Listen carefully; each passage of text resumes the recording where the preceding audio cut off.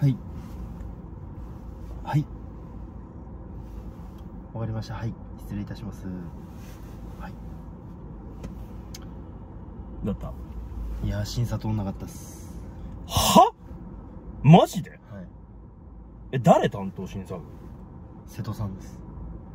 え、瀬戸さん？え、な、な、なんで？普通にダメだって？普通にダメでしょいやいやいやいやいやいや。瀬戸さん？瀬戸さん何真面目になってんだよ、瀬戸さんマジで。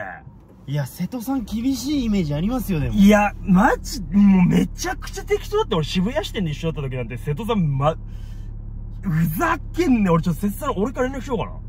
いやこれ戸田さんが言ってもらった方がいいかもしれないです俺多分いや、マジで、あ、あんな適当な人いなかったんだよ。全然ダメでしたよでもだって、あの人なんかもう、夕方過ぎで6時、7時とかでもうみんな帰った後とか、バーって仕事しようもう酒とか飲みながらやってたよ。昔。えめちゃくちゃ適当やんな、あんな瀬。戸さんですか？オフィスいやいやいやいやいやいやガンタバコ吸いながら。